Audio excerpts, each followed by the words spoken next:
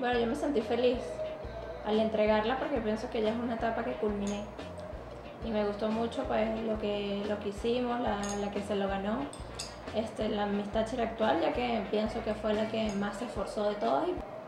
Porque se desempeñó bien en la tarima, lució, tuvo actitud que no quiere decir que ninguna tuvo actitud, todas tienen su actitud, pero ella fue la que mejor se destacó.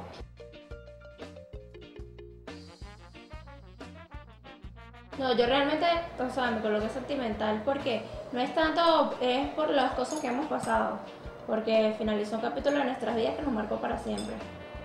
Bueno, nos pasó un accidente donde nos marcó no solo la vida a mí, sino a, la a toda la familia de ella. Realmente a las cinco aspirantes que íbamos nos marcó demasiado. Más todos, este, el equipo de cover, nuestro Néstor, Wolfa, William Ávila. No, es que yo no he hecho todo el cuento, yo resumo.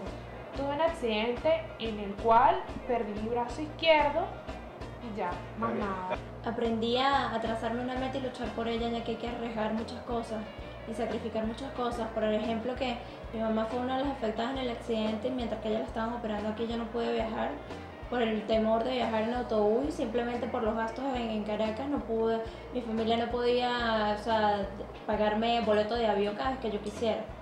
Entonces me tuve que abstener allá mientras que mi mamá estaba aquí operándose. Y yo como soy hija única soy muy apegada a ella. Mi aprendizaje fue muchísimo. Porque yo aprendí a valorar la vida y que tú no sabes en qué momento te puede ocurrir algo como me pasó a mí. Para mí fue algo muy difícil, pero superado. Yo creo que eso me ayudó a madurar más a saber que no era solo una niña que quería ir a un concurso de belleza y bueno, aventurar, sino que me marcó y realmente no me arrepiento de nada de lo que me pasó porque Dios me puso a mí algo en el camino y yo sé que lo voy a descubrir. Superar, junto con la ayuda de mi familia, el, el por qué. O sea, traté de muchas maneras tratar de buscar ese por qué, pero ya no, no me esfuerzo en buscarlo porque no me interesa saber por qué, sino simplemente quiero aprovechar la vida, quiero aprovechar todo este tiempo que a lo mejor pasé en cama, sufrí, lloré, quiero disfrutarlo al máximo.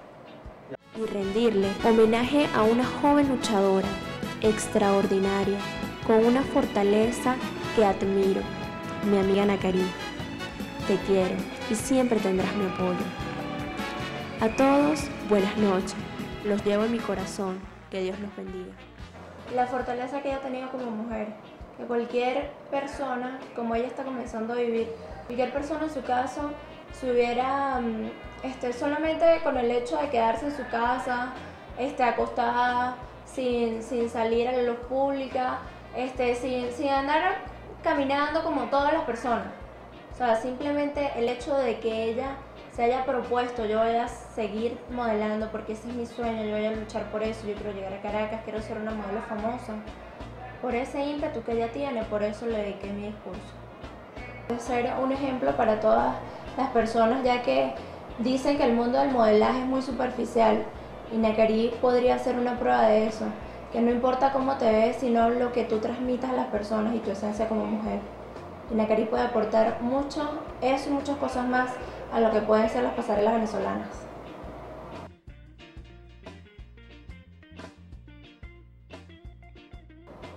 En mujeres. En mujeres y en ser cada día mejor. En saber lo importante que es estar vivo. Y que todo ese es, no sé, se te va, pierdes el tiempo en cosas nada interesantes. No tienen ninguna importancia. Y no valoras realmente lo que es tu vida o lo que tú puedes ser. No valoras cada parte de tu cuerpo, ni en qué lo puedes aprovechar. Y yo creo que eso fue unos momentos para mí donde yo desperté de un sueño así muy rápido y me senté y dije, ya va. O sea, yo tengo una misión en la vida, tengo que estudiar tengo que ser alguien. Así me haya pasado lo que me haya pasado, no me puedo quedar atrás es como de pasar a una niña mimada a ver la realidad de las cosas. Por lo menos en mi caso, de que yo pensé en el accidente, conchale, me pude quedar, me pude haber quedado sin mi mamá, que es todo para mí. Y algunas veces no le prestaba la atención que debía. Y tantas cosas que ella ha hecho por mí, por ser la niña de papá y mamá. Antes, cuando estaba en Miss Táchira, tenía la visión de quiero ser Miss Táchira, no pude, que dentro del cuadro, ahora quiero ir a mi Venezuela, quiero estar en Caracas, quiero ser, no sé, representar un estado y que se me abran las puertas allá. Ahora mi mentalidad cambia totalmente. Ahora quiero es, mi meta otra, luchar en la vida para conseguir lo que hoy en día quiero. Mi próximo piso sería estudiar.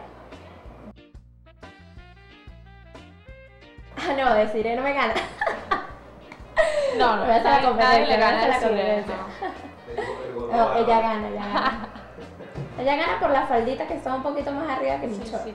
Y por el mini cachetero, entonces imagínate. Y le luce, porque si no le luciera se viera ridículo, no, se ve bien. Aunque en verdad yo no quiero, yo no la quiero, ¿no? a mí ella me cae mal, ¿no? Yo la odio y tal. No, mentira. Ella es muy especial, ella es muy chévere. Bueno, bueno, yo pienso que, bueno, mucha semejanza teníamos que todas tenían las mismas ilusiones, tenían ansias de que, de que comenzara, de que comenzara el concurso y a ver quién ganaba. Y, bueno, yo realmente en el Miss Thatcher nosotras compartimos cada momento desde que salimos el opening bailando, cantando. Fue una noche muy especial. Claro, son mujeres distintas a nosotras. Todas son distintas las que participan. Háblame de tu baile. De mi baile, ay, me fue, fue todo una odisea. Fue sexy. Fue sexy. La verdad que me esmeré bastante porque saliera bien, porque quería hacer las cosas bien. Me esmeré muchas horas de clase que no fui, que me escapé. Este, también tuve, me doblé varias veces el tobillo con la mesa, era un dilema. Pero bueno, gracias a Dios todo salió muy bien. Bueno, yo creo que fue una etapa muy linda. Vivimos cosas interesantes. Nos llenó mucho la experiencia. Y yo creo que es algo que personalmente yo no lo voy a poder volver a vivir más porque es una etapa ya superada y culminada. Y así como yo cierro el ciclo de Miss Táchira, cierro este programa. Chao. Bueno, fue una experiencia inolvidable. Siempre la vamos a tener presente a lo largo de nuestras vidas. Y este, quiero que apoyen a la nueva amistad Chera como nos apoyaron a nosotros. Les digo chao a MT07. Chao, bueno, chao ya. Chao, se acabó. Ay, no. Tú dices, se acabó. O sea, chiqui, no hables más, chao, ya. Se te acabaron tus minutos de Vamos. fama, ya no más. Ya no más. O sea, ya no más corona, ya no más besos, ya no más, chiqui, ya. Chao.